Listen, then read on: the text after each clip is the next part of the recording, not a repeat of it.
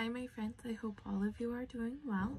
Today we will be making these really cute Earth Day cards to put in our sound boxes. The materials you'll need for this project are a piece of paper folded in half, something round to trace, a pencil, scissors,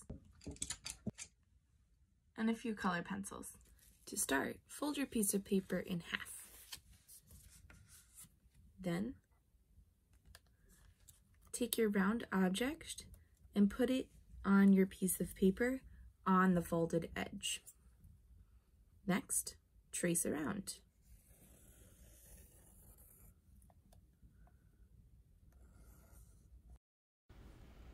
Then, carefully cut out your circle.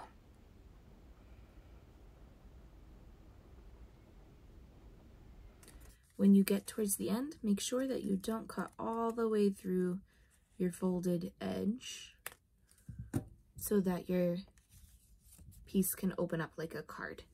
Then you're going to decorate the cover of your card to look like the earth. It doesn't have to be perfect, just some green blobs to look like continents and you'll be all set.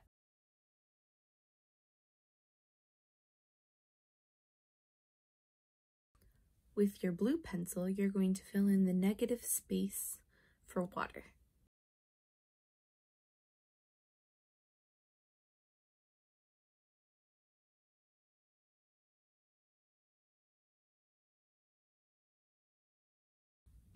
Next, on a scrap piece of paper, write down all the letters that you are practicing in your sound box. Then create a list of words you would like to draw on your Earth Day cards. Start by sketching out the image inside your card. Then use your color pencils to trace over and color it in. Once you have finished coloring your picture, flip your card over. Practice writing the word of the item you drew inside your card. And this